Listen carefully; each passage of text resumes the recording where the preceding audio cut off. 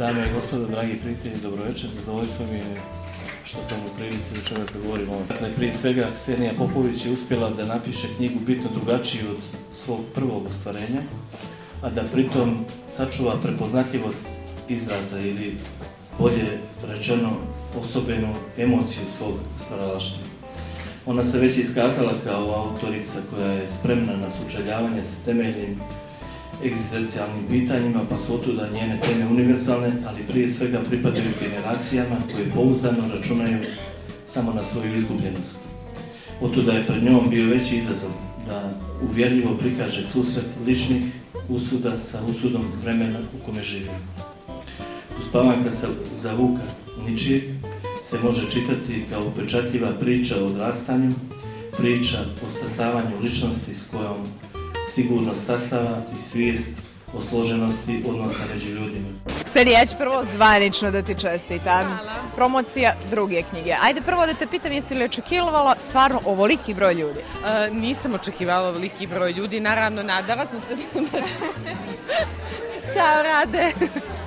Um, hvala, nijesam očekivala veliki broj ljudi e, i, i zaista mi je velika čast, e, pogotovo što su i došli neki ljudi koje odavno nijesam vidjela.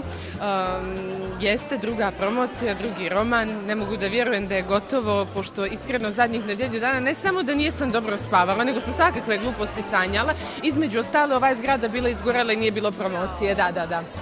Gdje si našla inspiraciju za ovaj roman? E, inspiraciju sam našla prije svega u tom mom stalnom istraživanju ka, porodice, porodičnog života, porodične dinamike ili dinamike u nedostatku porodične dinamike.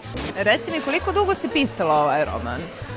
Ha, roman sam pisala iz tri puta. E, taj posljednji, da kažem, mah je bio od novembra do danas, ali ova priča je u toku već 7-8 godina. Zašto to nije ono, znaš, pisala je 7 godina roman, pa je svaki dan po jednu rečenicu. Ne, ne, ne, ne, ne, ne. Znači, to je bilo, Ksenija počne, pa Ksenija je trudna, Ksenija sad ne može time da se bavi. Pa Ksenija se tek, u stvari prvo sam se udala, pa onda je Ksenija opet trudna, pa se Ksenija porodila, pa male bebe i tako dalje. Hiljadu izgovora bilo, očito nisam bila, nisam bila naš spremna da, da, da, da to završim i eto, konačno, ali onda je došao trenutak kad mi je bilo strašno potrebno da ja to završim i, i to je onda... I to je to, evo ga večeras. Prvi roman Mene je rastužio. Meni je bio strašno potresan, jako bolan. Da si sad stradala. Jesam li? Ja, a ja baš hoću da pitam šta da očekujemo od ovog.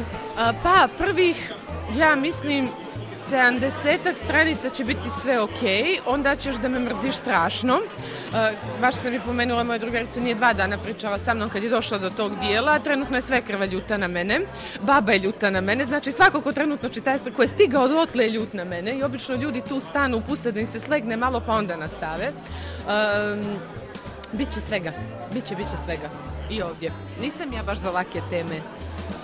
Pa dobro, neko mora i da nas neko mora da piše o takvim stvarima, tako je, tako je. Mada ja volim, znaš, ja kad uđem u knjižaru obično kažem imate li nešto, ali da me rasturi. Da, da, da, to mi hoću, hoću da plačem, hoću da se smijem, dajte mi nešto baš. I, pa šta obično čitaš?